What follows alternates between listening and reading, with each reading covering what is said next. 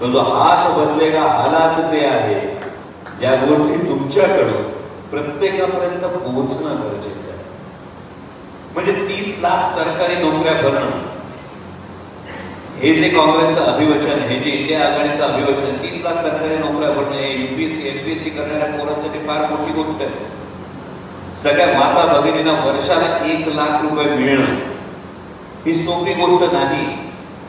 म्हणजे कुठेतरी मोदी सरकारच्या कार्यकाळामध्ये फक्त मोफत रेशन दिलं जातं एकीकडे सांगितलं जातं देश पाचवी अर्थव्यवस्था आहे. आणि दुसरीकडे मात्र ऐंशी कोटी लोकांना मोफत राशन दिल्याची जाहिरात केली जाते.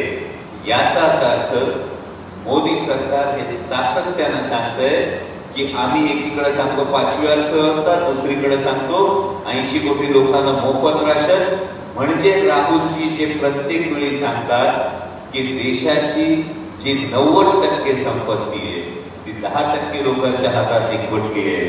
आणि बाकी लोकांना या पद्धतीने हा ही जी तफावत मोदी सरकारच्या काळात तयार झाली ती आपल्याला साकावी आणि हे जर काँग्रेसच्या कार्यकर्त्यांना तुमच्या बीएनएसने तुमच्या परी तुम्ही सांगा आम्ही या सेक्टरमध्ये जास्त काम करतो आम्ही या सेक्टरमध्ये काम करतो. त्या पद्धतीनं मला असं वाटतं काँग्रेसच्या प्रत्येक कार्यकर्त्यांना लार्जर गोल ध्यानात ठेवा.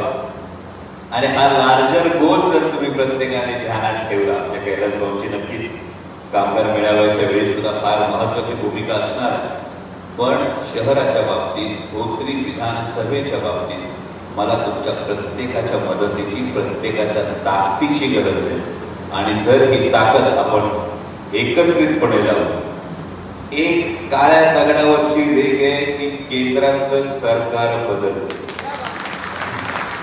शंभर टक्के बदल तुम्ही देशाचा विचार केला तर तुम्हाला प्रत्येकाला खात्री पटेल केंद्रातलं सरकार शंभर टक्के बदलते. मी संध्याकाळी सविस्तर बोलीन त्यावर. आता हे बदलत असताना अमोल कोल्हे इथे येऊन म्हणाला केंद्रातलं सरकार बदलते कैलास भाऊ बदलला. आणि तुम्हाला जर चार जूनला विचारलं की भाऊ असं झालं होतं तर धनंजय भाऊ हे म्हण त्याच्यातले अनेकांनी दोन पर्याय तुमच्यासमोर. तर याच्यातले धनंजय भाऊ याच्यातल्या अनेक कार्यकर्त्यांनी असं सांगायचं हा ते दोघं त्या दिवशी बोलले होते आम्ही समोर बसलो तर आम्ही टाळायला हा एक पर्याय.